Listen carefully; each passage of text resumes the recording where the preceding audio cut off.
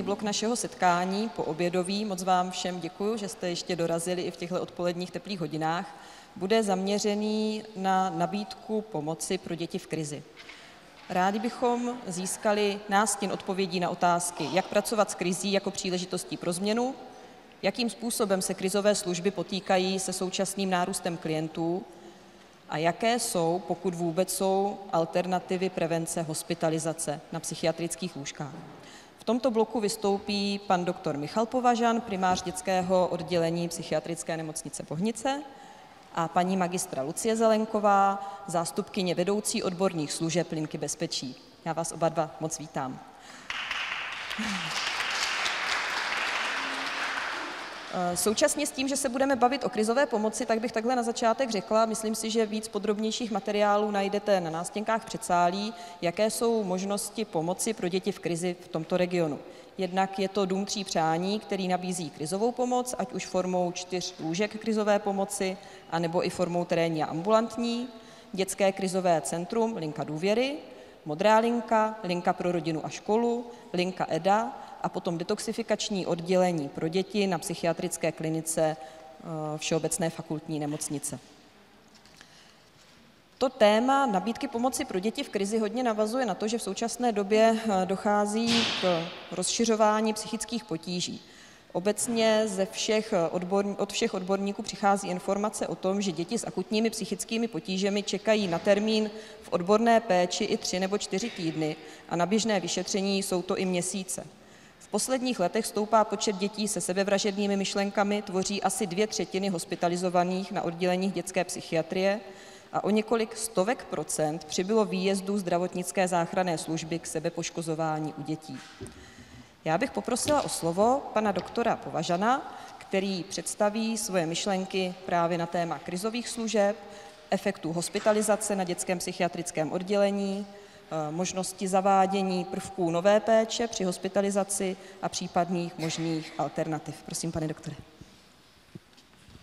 Tak dobrý den. Nevím, jestli jsem ten povolaný, který bude správně mluvit o alternativních eh, způsobech, eh, jak se starat o děti s duševním onemocněním, protože těch alternativ se tady v této republice a ze které já pocházím, ještě mý nabízí. Já jsem ze Slovenska, tak eh, eh, jediná optimistická zpráva dnešního dne je, že, že tady v Čechách jsme na tom výrazně líp než na Slovensku.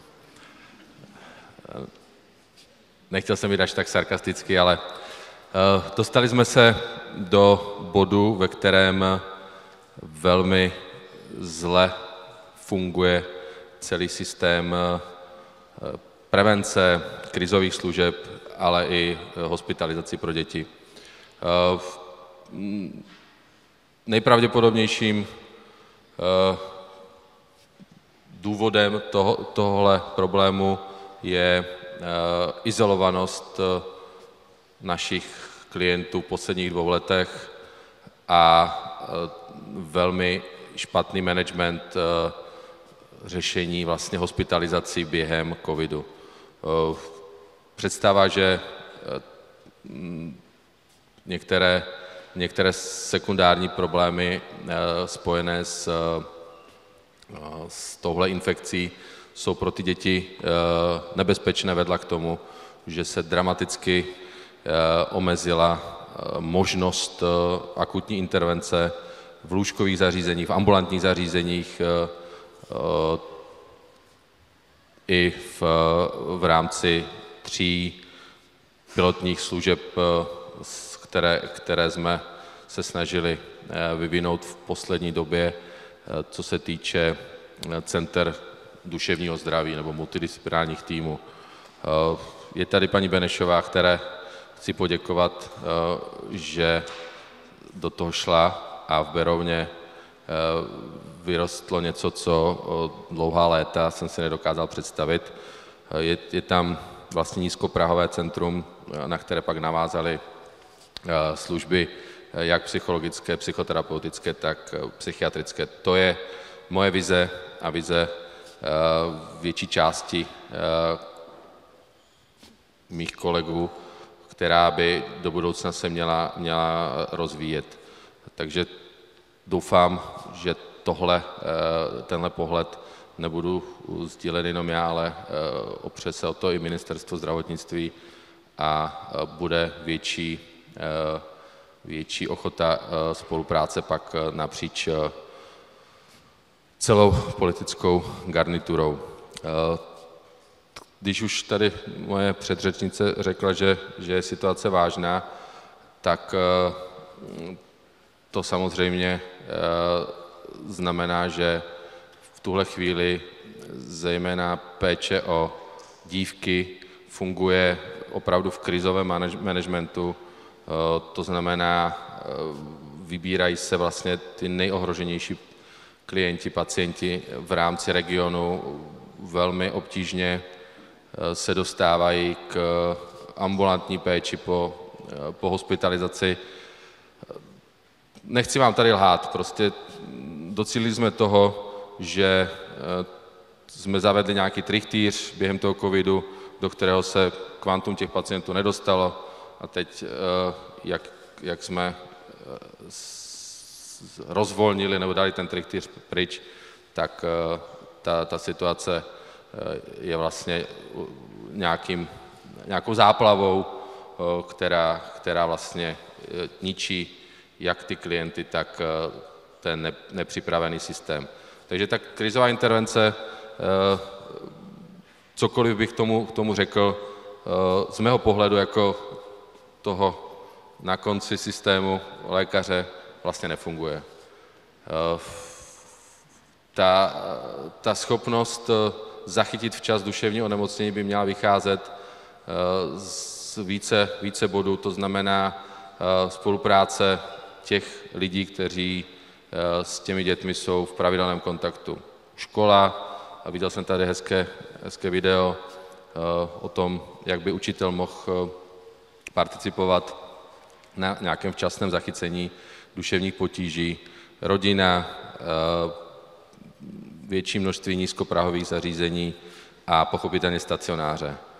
Aktuálně v České republice funguje, víte, kolik stacionářů?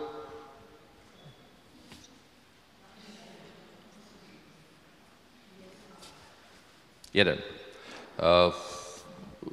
Je v chodu určitá příprava v rámci Prahy, aby doktor Lorenz v rámci zařízení, nebudu tady teď jmenovat, protože nevím, jak, jak jsou připraveni, nějaké služby typu stacionáře rozšířil, ale za mě tohle je cesta, která, která je uskutečnitelná. Potřebujeme na to lidi, potřebujeme na to lidi, potřebujeme na to lidi. Žijeme v době, kdy ne, že by peníze byly úplně na všechno a v posledních dnech v rámci inflace asi se, se dostaneme trochu do problému, ale největší problém je nedostatek vlastně personálu. Nejenom pro krizové služby, pro hospitalizační služby, pro ambulantní služby a i pro služby vlastně typu Center duševního zdraví pro, pro mládež. Co je pro mě jako vlastně měřítkem je, je způsob, jak, jak ty děti vlastně teď fungují na pediatrických odděleních, v rámci emergency, kde se dostávají velké množství, ve velké množství klienti s duševním onemocněním a, a není, není pro ně adekvátní péče, není koordinace mezi dospělou a dětskou psychiatrii, kde by ten přechodový věk, řekněme 16 až 18 let, mohl najít aspoň přechodnou, přechodnou péči, ale je to vize, která se dá v tuhle chvíli aspoň částečně tlačit na zainteresované, aby, aby ji brali jako něco, co ten systém může trochu změnit a, a může pomoct aspoň na, na období nejbližších dvou let, kde je riziko vlastně toho, že nebudeme se potýkat jenom s nárůstem duševního onemocnění, ale i sebevražednosti. Před asi dvěma měsíci jste asi zachytili takovou kombinaci velmi nešťastných událostí, ale i přesto, že, že to asi hodně rezonovalo mezi lidmi, tak to nevyprovokovalo nějakým zásadnějším jednáním, kromě toho, že se na půdě parlamentu udělalo nějaké povídání. Takže slíbil jsem tady kolegům, že nebudu moc pesimistický a teď si uvědomuji, že jsem, že jsem velmi pesimistický, ale nechtěl jsem vám tady říkat nějaké nesmysly. Já jsem lékař, který, který by měl v první řadě nabídnout pomoc tomu, kdo ji potřebuje, ale v tuhle chvíli je to často o tom, že hledáme jenom na, přechodní, na přechodnou dobu nějaká lůžka, kde, kde ty klienti aspoň nebudou ohroženi velmi jako vážnými následky toho duševního onemocnění a léčíme jenom poměrně úzké spektrum vlastně těch nejvážnějších potíží. Už se o tom mluvilo, sebepoškozování, těžké depresivní stavy, závažné poruchy příjmu potravy, psychozy. Psychozy to je asi jediná, jediná část těch potíží, které nám nenarůstají. Je to desítky let stacionární faktor, ale s tím, s tím bychom se asi neměli ukolébat. Jsou to velmi vážné poruchy, ale naštěstí nerostou. Co, co ještě je jako důležitý z mého pohledu, abyste se o to zasadili případně i vy, rozšíření péče o, o pacienty s poruchou autistického spektra. To je skupina lidí, která bohužel v podstatě až téměř geometricky roste a ten politický systém na to nehledí desítky let a my nevíme, proč ta křivka je tak, tak divoká, ale, ale víme, že ty počty pacientů budou dál narůstat a pokud nebude dostatek, dostatek jako respitní péče v nějakém kontextu přiměřených cenových nabídek, tak, tak ten systém to zase může přehltit. Viděl jsem tady jednu minutu, tak budu se snažit už pomalu končit. Co, co v tuhle chvíli byla debata o tom, jak minimalizovat hospitalizace, já vám na to nedokážu odpovědět. V tuhle chvíli je, je důležité to, aby každý, kdo pracuje s dětmi,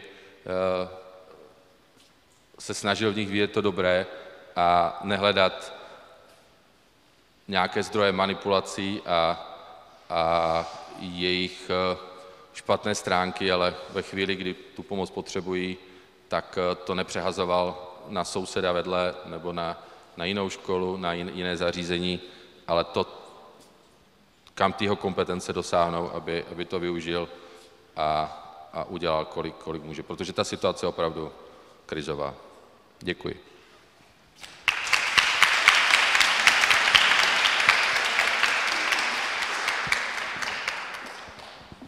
Děkuji moc, pane doktore, za vaše slova, za to, že jste nám popsal tu situaci taková, jaká je i z pohledu zdravotníků.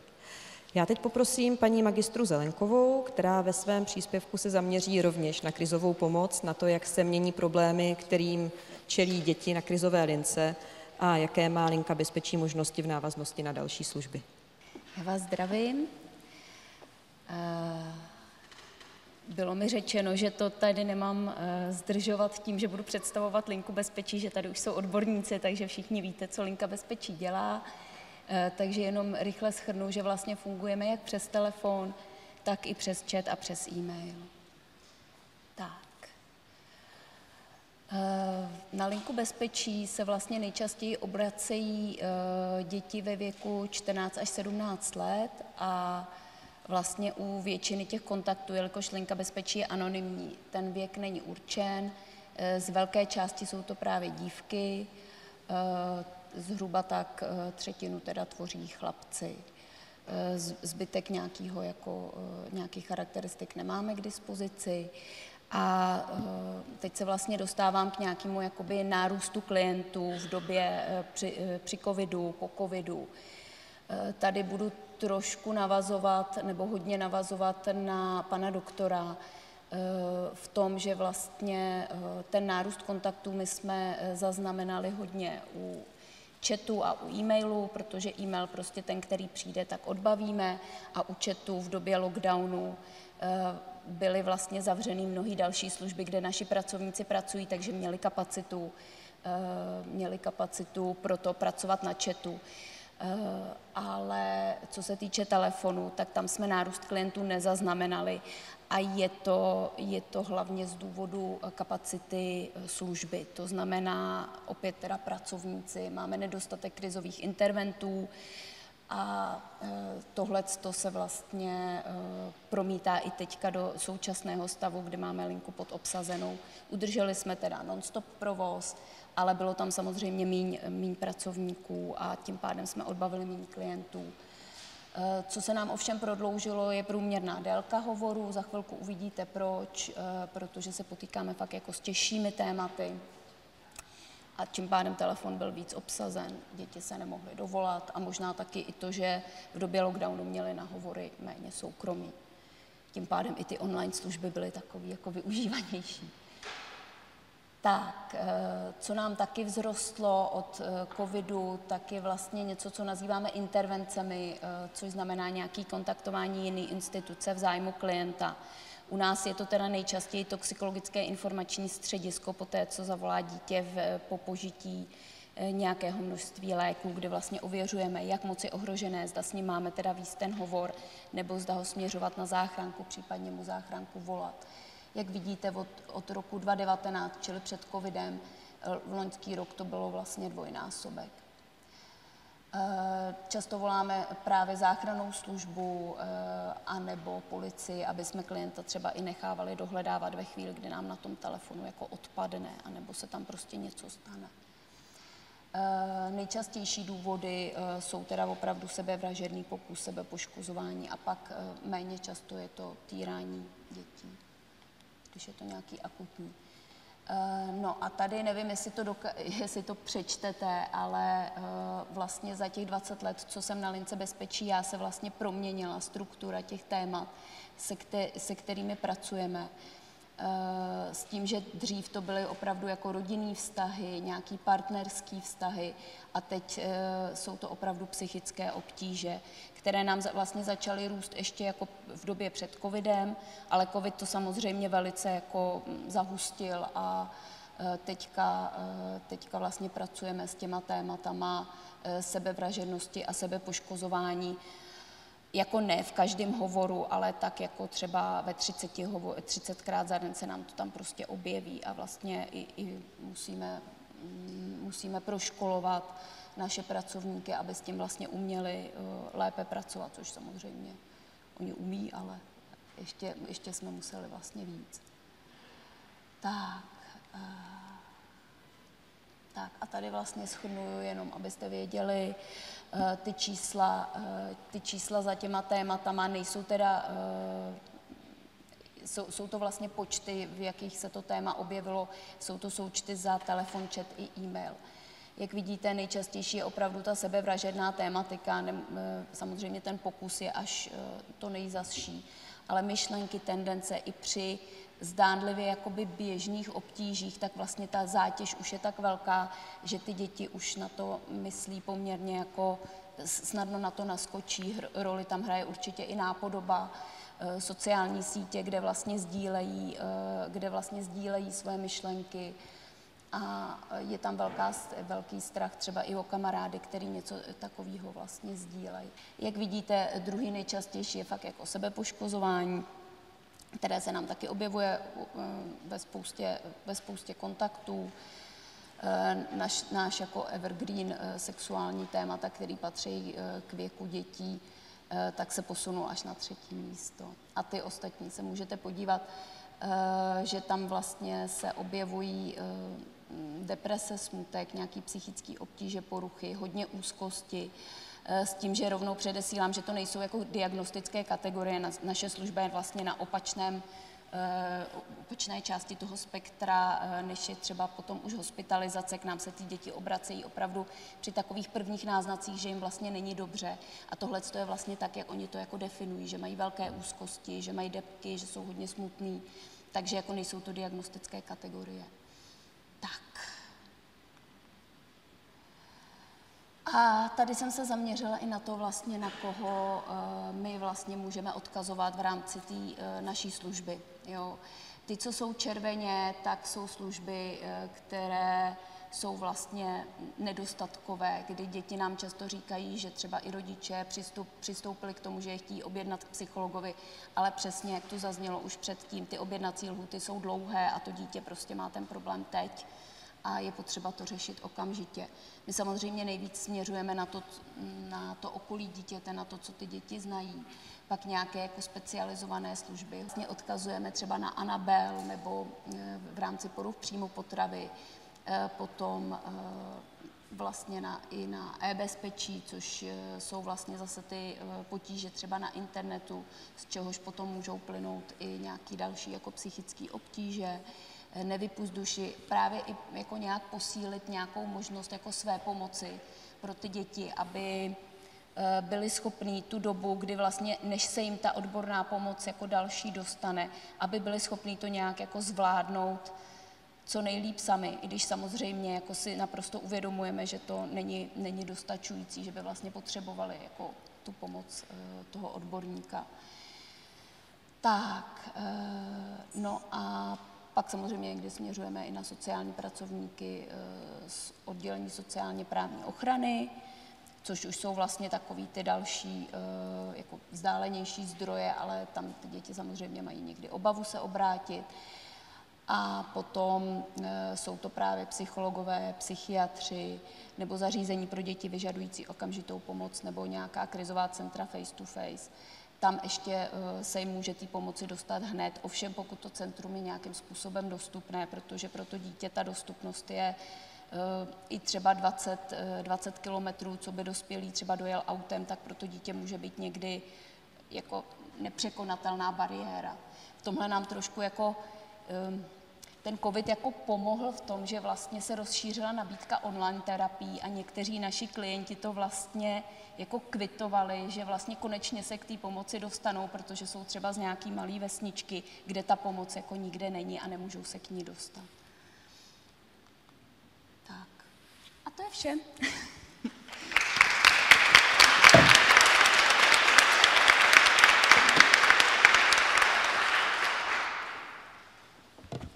Moc díky paní magistře Zelenkové za představení jejího tématu.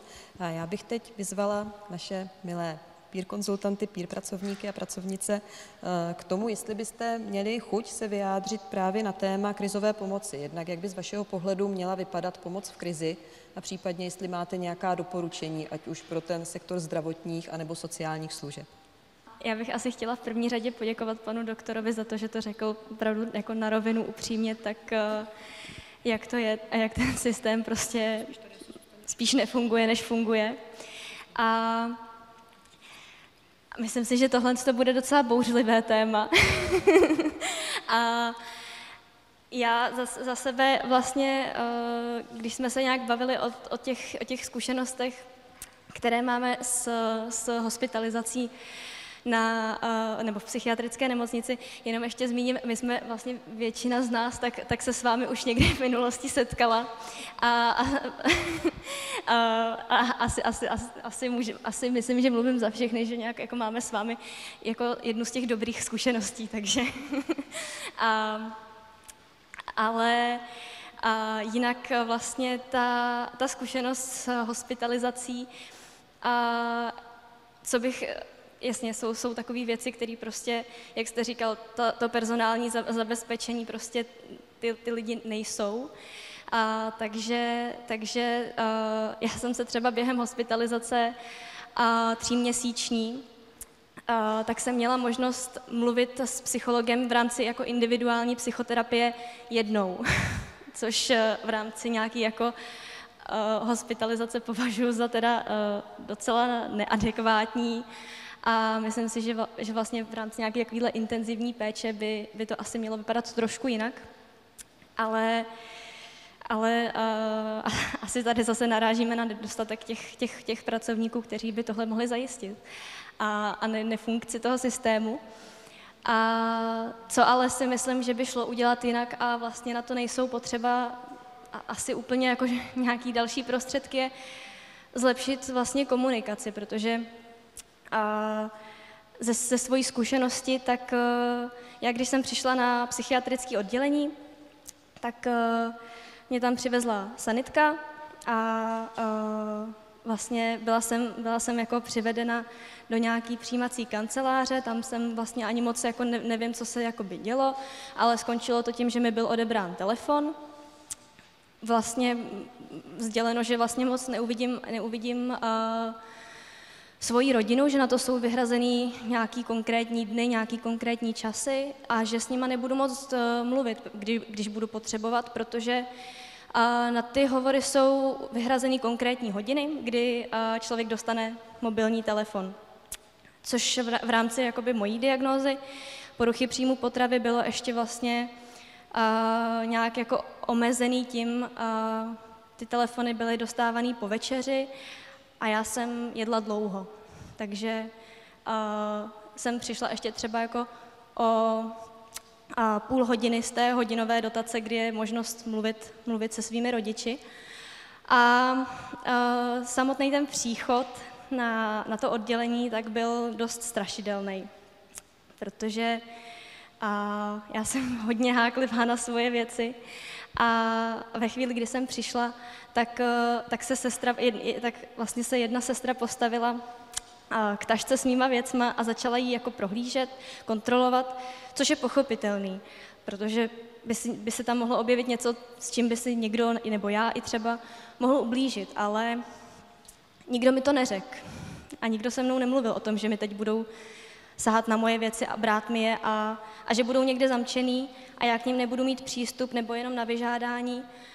Ale a, a proč se to děje a že je potřeba prohlídnout mě a jestli na sobě nemám něco schovaného.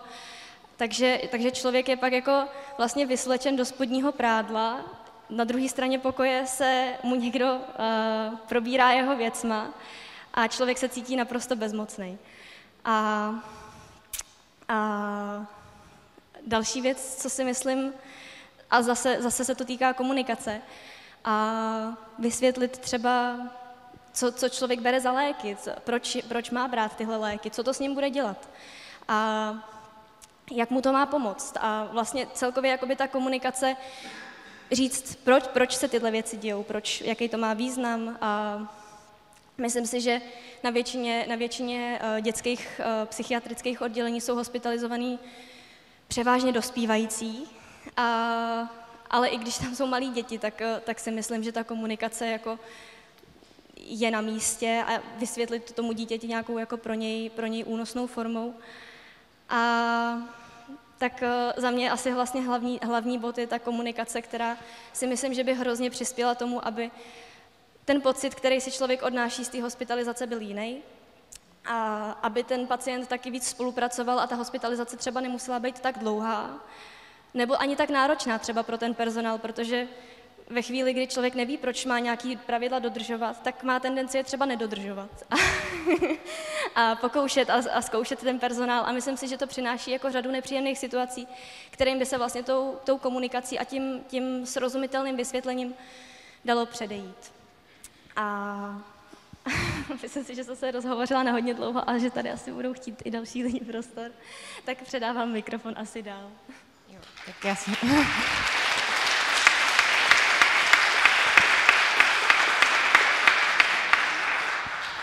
Já si ho teda rovnou převezmu a chtěla bych jenom jako taky, taky zdůraznit, že ta komunikace je hodně důležitá. Já třeba doteď nevím, co všechno jsem brala za léky.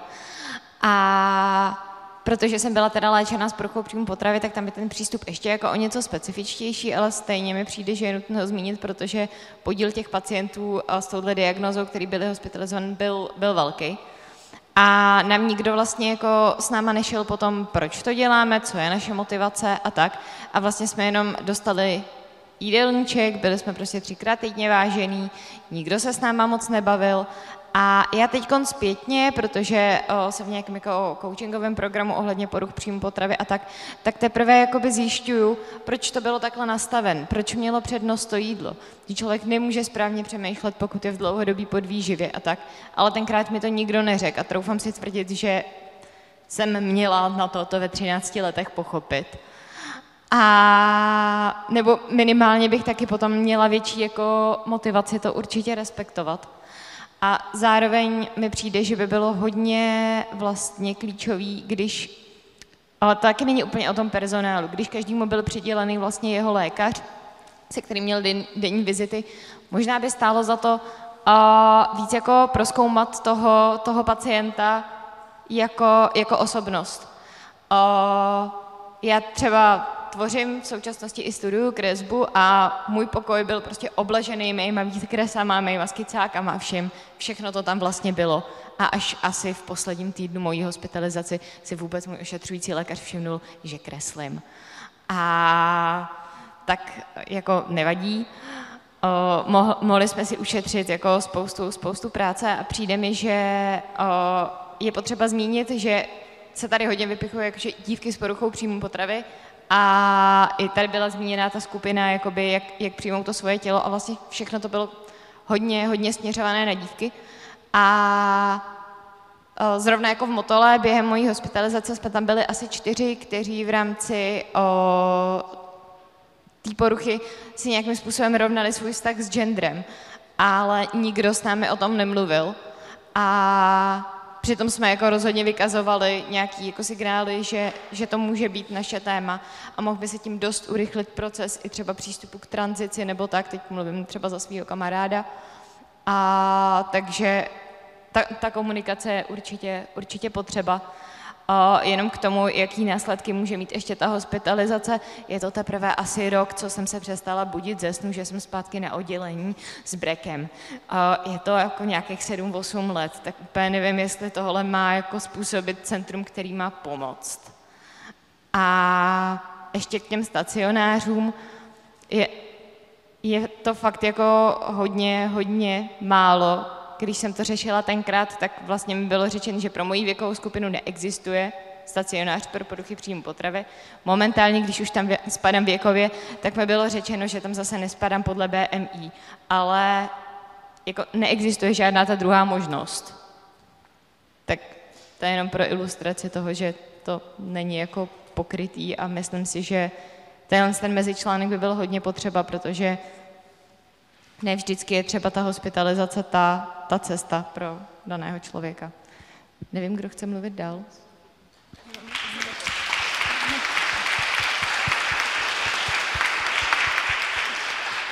Já souhlasím s holkama, že uh, bohužel je to problém i v té dospělé psychiatrii, nedostatek respektu a komunikace. Psychiatrický pacient je taky člověk a je to ještě citlivější a zranitelnější člověk, než je člověk se zlomenou nohou. Takže o to je důležitější ten lidský přístup. Jenom abych nemluvila, já, já mám za sebou krátkou hospitalizaci dětskou v Motole a o tom radši se vyjadřovat nebudu. Myslím, že ta hospitalizace nebyla vhodné řešení zrovna pro mě, že to následovalo po tak traumatizujícím zážitku pro mě i celou moji rodinu, že jsem potřebovala být v bezpečném prostředí a ne za sklem, zavřená s, s lidma, kterých jsem se bála, který byli prostě divný jako chodili tam eh, nadopovaný lékama, já jsem se ptala svý doktorky, jako co s tou holkou je a ona, no, nemůžu s vámi o tom mluvit. Takže to bylo, ale uh, mě třeba pomohl stacionář, to mě právě uh, docela mrzelo, jak jste říkal, že existuje jenom jeden.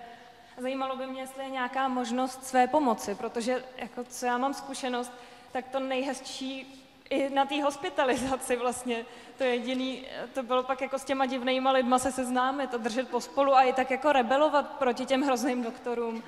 A, a vlastně i v té dospělé psychiatrii, že, že to, to hezký se tam jako odehrávalo venku, na trávníku a, a ty skupinové terapie taky. Mysl, a myslím, že i u těch dětí, že tam je jako nějaký potenciál, aby si no, pomohli sami.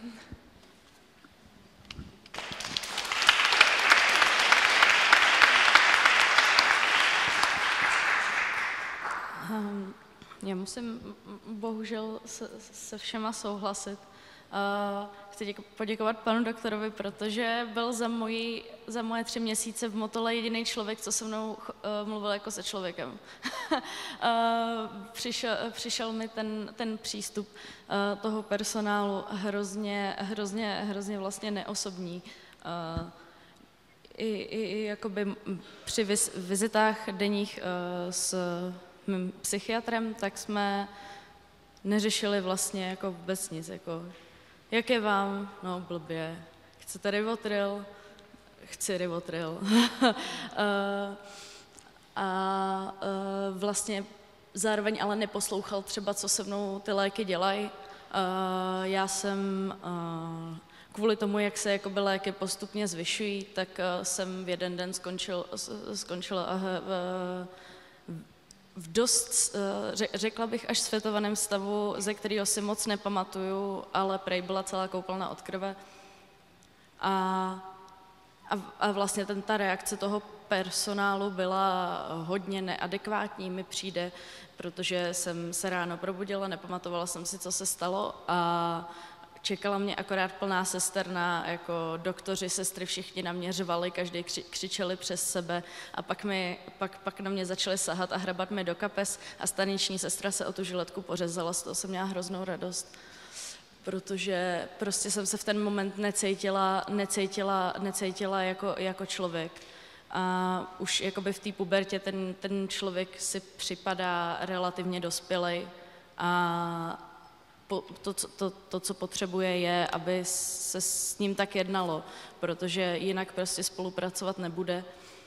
A ještě, ještě jakoby vidět, vidět jak, se, jak se přistupuje v nemocnici k lidem s poruchama příjmu potravy, kdy já ráda označuji motol za výkrmnu, protože ta terapie eh, tam nebyla a vlastně já měl to štěstí, že jsem eh, nebyla dost podvyživená na to, aby tam moji poruchu příjmu potravy řešili.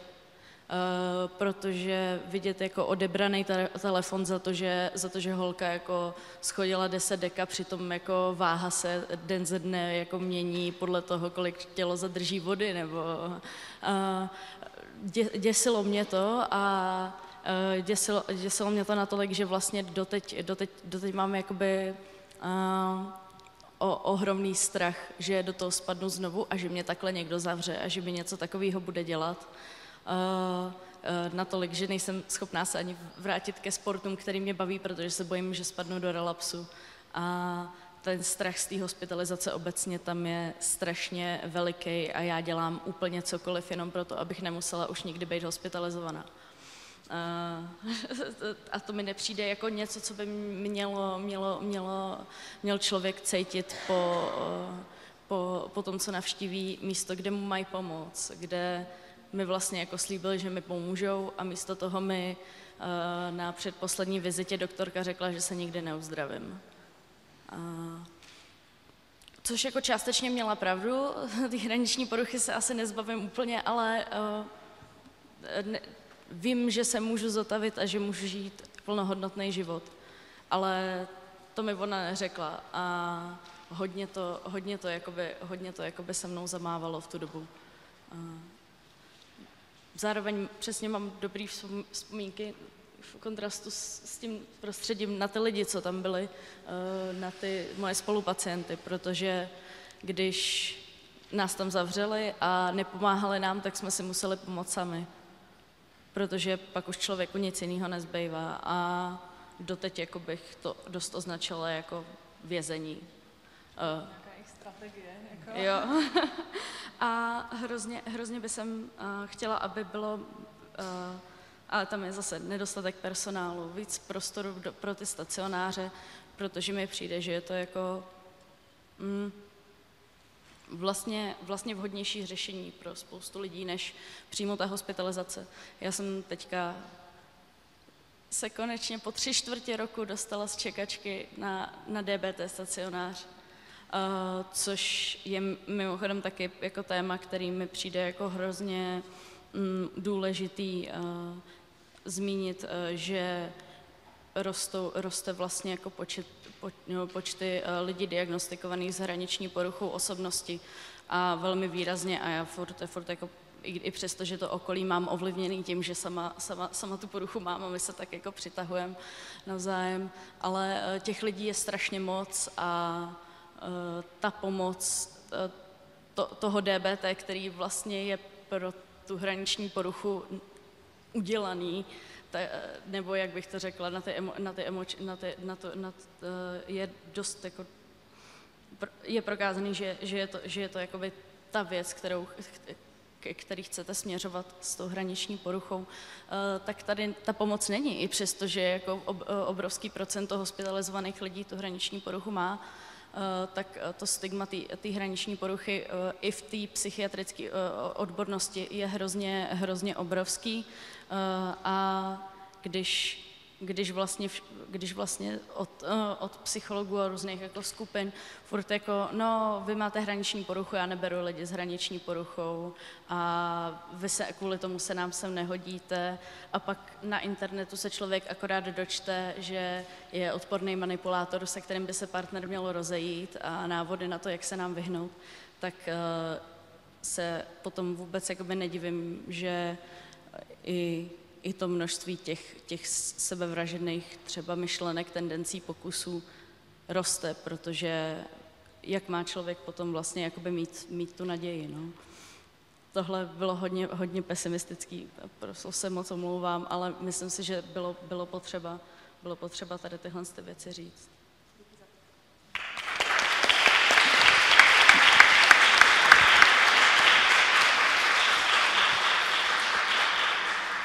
Já mám na vohnici možná něco lepší, nebo na hospitalizaci možná něco lepší vzpomínky než ostatní tady z mých kolegů. Mně se tam vlastně docela líbilo, protože to byla nějaká jako velká úleva od šikany ve třídě a tak, jsem tam strávil tak jako dva a půl týdny, kde jsem se vlastně jenom čet knížky, hrál se jenom ušetřoval tam šachy bavil se o buddhismu, to bylo jako příjemný poměrně. Ale ten můj vstup tam byl strašně nepříjemný úplně, že to vlastně přivezli rodiče, řekli mi, že jedu na nějaké vyšetření ani mi neřekli, že jdu na hospitalizaci. A přece tam došlo k tomu samému, což to bylo popisovaný, že mě jako najednou řekli, že mi najednou mi prostě sebrali jako věci z kapes, že jo, a řekli že tam zůstanu. A ten pocit, který to mě vyvolalo, tak vlastně jako nejblíž něco podobného tomu, co jsem jako kdy čet, tak bylo v knize a přesto říci životu ano, od doktora Frankla, který popisuje, když se zavírali do Osvětimi, jak se jako až jako v té chvíli, byl u těch sprch, jako uvědomil, že opravdu tam bylo zavřený, tak asi takovýhle pocit to byl. A bylo to strašný v tu chvíli. A hrozně to jako nebo něco jako zbudilo důvěru určitý instituce nebo něčemu takovému. Takže já jsem vlastně život první chvíli jako o tom věděl, že to je vězení, chtěl jsem se tam dostat pryč, a pak jsem jako nespolupracoval s tou léčbou. A když jakoby, eh, ty ošetřující lidi tam museli vědět, že tam se jako spojeří schizofrenii, tak nějak jako za celou dobu tam nedošlo k tomu, že by jako teda zjistili, že celou dobu halucinu, co jsem tam byl. Mně se to podařilo zatajit a vlastně za jako ten nejkratší možný čas jsem šel tam tuď pryč, že jsem prostě jako neměl důvěru, že mi mohli pomoct, protože tam došlo k tomu jako prvnímu první věc. A to, že mi tam potom vlastně bylo poměrně příjemně, jakože to byla ta úleva od té třídy, tak to už bylo sekundární, že tam byl ten první pocit, že byl to jako ten největší problém. Takže si myslím, že to už jako to samotné přijetí je prostě problematický a myslím si, že to se, to slyšel tady opakovaně, tak se asi děje jako často prostě lidem. Ne? Tak jsem chtěl říct, děkuji.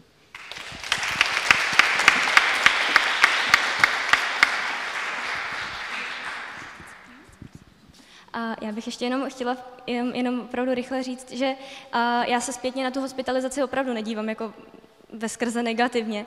A taky jsem vlastně potom, já jsem byla hospitalizovaná ještě na základní škole, a vlastně potom na střední škole už, už jsem občas i měla jakoby tendenci, že bych se jako možná tam i na chvilku ráda vrátila, že prostě, že to byl jakoby vlastně nějaký prostor, kde mi bylo, be, kde jsem se cítila v bezpečí a, a byla, byl tam klid a byl tam prostor řešit, řešit sama sebe, vevnitř sama sebe, a ne, ne teda s nějakým, s nějakým terapeutem, ale že, že vlastně jako to taky nevnímám úplně, úplně negativně.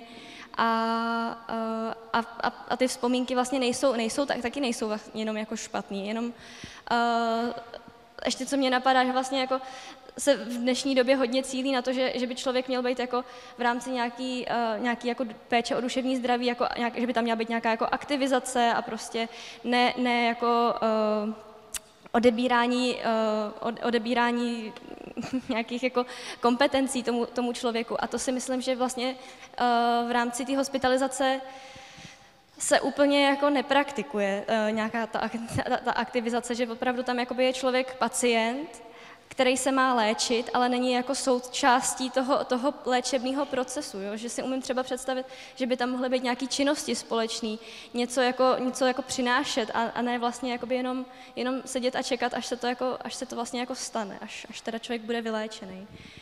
Tak ještě jenom.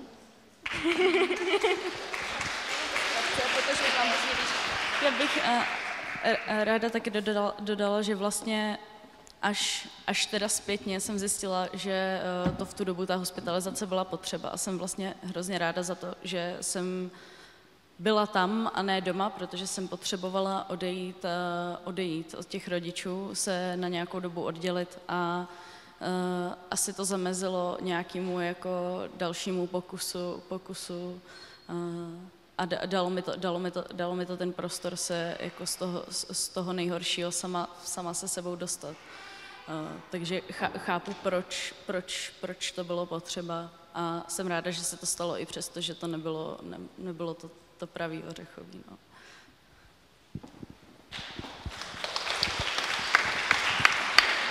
Díky moc, díky moc za, za vaši zpětnou vazbu a za všechny zážitky, se kterými jste měli odvahu se podělit. Já teďka předám rovnou slovo panu doktorovi, jestli chce nějak reagovat na to, na to co zaznělo o tom, jak probíhá hospitalizace v krizi, možná v akutní krizi, a případně jestli existují nějaké cesty, jak z toho dál.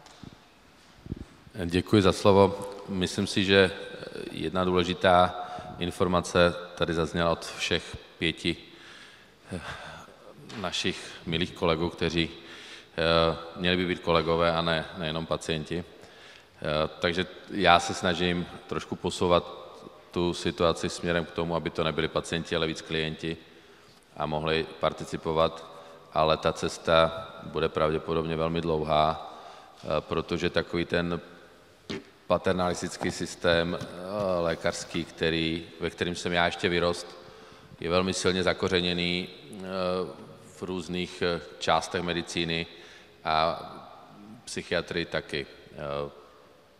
Druhá věc, kterou jsme dneska vlastně slyšeli, eh, je zlepšení komunikace. Ta, to, je, to je problém, který, na kterém se musí pracovat v podstatě eh, od prvního dne, kdy člověk vkročí na lékařskou fakultu, až do doby, kdy odevzdá razítko a přestane psát léky a přestane se zajímat eh, o kohokoliv venku, to znamená vlastně nikdy. Tak eh, na, na, tom, na, tom, na tomhle musíme pracovat dál a nikdy nebude, myslím, eh, optimální situace.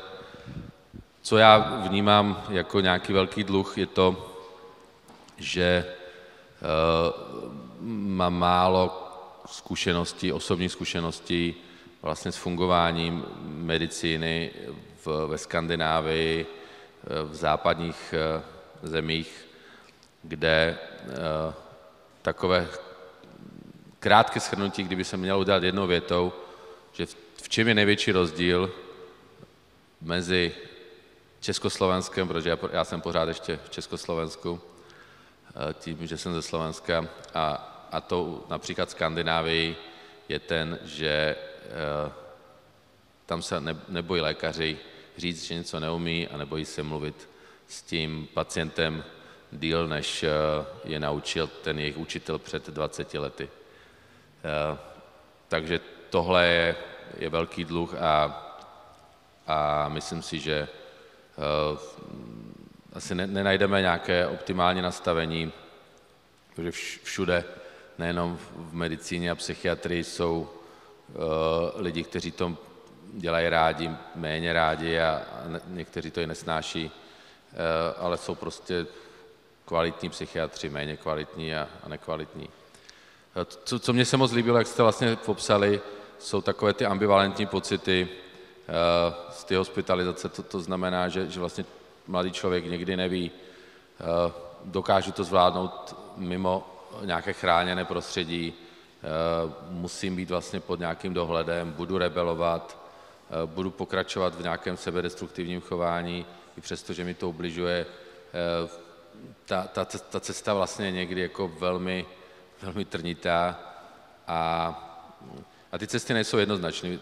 Někdo z vás tady hezky mluvil o DBT, eh, což je nějaký druh behaviorální terapie, psychoterapie, která poměrně dobře funguje na určitý druh diagnóz, ale taky to není spásanostná jako cesta, jediná cesta je, medicína je velmi složitá vlastně i v tom celoživotním vzdělávání a, a některé vlastně formy eh, léčby jsou v určitou chvíli vnímány jako skvělé, ale v horizontu 20-30 let se můžou stát jako buď obsolentní nebo vyloženě poškozující ty pacienty. Takže eh, je to, je to a psychiatrie speciálně, je, je to tak složitá část vlastně, která nemá tolik vlastně exaktních vyšetřovacích metod, jako například chirurgie, ortopedie. A myslím si, že ta vize do budoucna je přeci jen v něčím pozitivní. Ty zobrazovací metody, které by měly víc se zaměřit na funkční eh, změny mozku, než jenom na strukturální, by za pár desítek let mohly, mohly znamenat nějaký větší průlom. A druhá věc, co je, myslím si, že to je, to je ta cesta, o které tady vlastně mluvíte všichni, eh, víc, víc eh, to nechat na, na ty statečnosti toho pacienta. Tady jsme se trochu překlopili do, do systému, který, který eh, velmi vylekal vlastně lékaře. Eh, dlouho, dlouho lékař byl vlastně nepozdi, nepostižitelný a v tuhle chvíli eh, ty právní následky nějakého pochybení, respektive něčeho, co může okolí vnímat jako nekvalitní péči nebo non lege artis vlastně chování toho lékaře už může mít vlastně celoživotní dopad. Eh, nechci to rozmazávat, eh, něco jste určitě viděli v televizi, eh, teďko v rámci Pardubic, i když to není psychiatrie. Takže ta medicína se teďko trochu svazuje restrikcemi, které, které země na psychiatrii jsou vlastně trochu, trochu na škodu. Myslím si, že eh, ten, ten sektor mimovládní, pokud, pokud bude podporovat eh, víc, eh, víc péče stacionárního charakteru a, a i s určitým rizikem, samozřejmě, že ne všech, všechny ty pacienty dovedeme do nějakého uzdraví, do nějakého recovery, tak myslím si, že jim vlastně můžeme nabídnout někdy víc, než, jenom to hospitalizaci, ale je to, eh, ten systém je opravdu velmi rigidně nastavený a ta, ta změna, změna většímu počtu center duševního zdraví pro, eh, pro mladé lidi eh, ne tak rigidně nastavený, přesně stacionář, někdo to tady řekl, nemáš BMI, nemůžeš, nemáš věk, nemůžeš, už máš zase moc velký věk, věk nemůžeš, moc malý věk, s nějakým eh, bezpečným vlastně eh, průchozím eh, bodem, kde, kde není, není otázkou jenom, jestli, jestli jsem teď brán jako adolescent nebo mladý dospělý s, s nějakou těžkou duševní poruchou, to, co dneska ta anglosaská literatura označuje jako SMI, anebo to je diagnoza, která SMI není. Dostali jsme se prostě na křižovatku, ve které si myslím, že máme cesty, kterými můžeme jít a, a potřebujeme na to dost lidí, kteří budou, budou ty vize nějak sdílet a, a přetaví je do, do praxe, ale, ale bude, to, bude to jako velmi složitý. No. Psychiatrie, myslím si, že v našich podmínkách vždycky bude úplně někde na, na, konci, jak procentuálně, co se týče, eh, co se týče peněz, tak eh, nějakou atraktivitou, a, a o to víc eh, bude, bude snaha vlastně eh, ty finanční prostředky a, a personál upotřebit tam, kde to, kde je to takové jako líbivější, no, kde to je takové jako, můžu s tím jít do televize a můžu trošku se jako uh, víc prodat. Ale myslím, že, že jste mluvili od srdce, když jsou věci, se kterými nesouhlasím, ale mně, mně se to líbilo. ještě poprosím, abyste si ho nechal, pane doktore, ještě tady mám pár dotazů. Moc děkuji, moc děkuji panu doktoru uh, za reakce. Uh, teď zkusíme zodpovědět aspoň pár dotazů z publika, které přišly přes slajdo. Jeden takový možná spíš statistický. Je dostupnost akutní lůžkové péče pro děti horší než dostupnost akutní lůžkové péče pro dospělé? V tuhle chvíli směrem k dívkám ano, uh-huh. adolescentním. A potom je tady otázka, která ale směřuje na fakultní nemocnici v Motole, kam odkazuje své klienty po propuštění a kdo se tomu věnuje na oddělení. Myslím si, že to je omyl, má to být směřováno na Bohnice. Po propuštění z hospitalizace, kam směřujete své pacienty do následné péče zřejmě? Jo. Eh, v Bohnicích fungujeme tak, že snažíme se už víc specifikovat eh, tu ambulanci, kam by ten klient měl nastoupit. Ne vždycky je to efektivní, ne vždycky to je jako funkční. Eh, je, nebo pracujeme každý rok na nějakém seznamu kooperujících ambulancí a, a já se snažím být s většinou těch psychiatrů e, přímo v nějakém kontaktu telefonickém, e-mailovém. A směřujete i na jiné služby než jenom psychiatrické, zdravotnické? E, to, je, to je první věc. Druhá věc je ta, e, že s tím stacionářem, který vlastně propuje poruchy příjmu potravy a nějaké, nějaký zbytek vlastně pak adolescentních potíží, tak s ním jsme taky v poměrně úzkém kontaktu, ale ten je, ten je dost neprůchozí. A, a pak, eh, pak je vlastně takové jako, eh,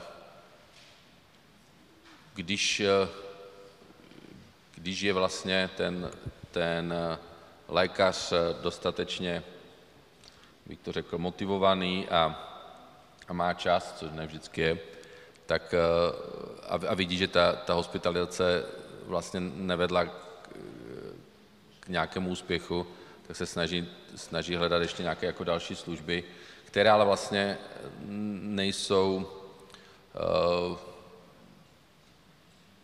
dobře identifikovatelné v jasném jako časovém období. To znamená, mění se, nejsou, nejsou stabilní, co se, co se týče jako počtu a, a udržitelnosti.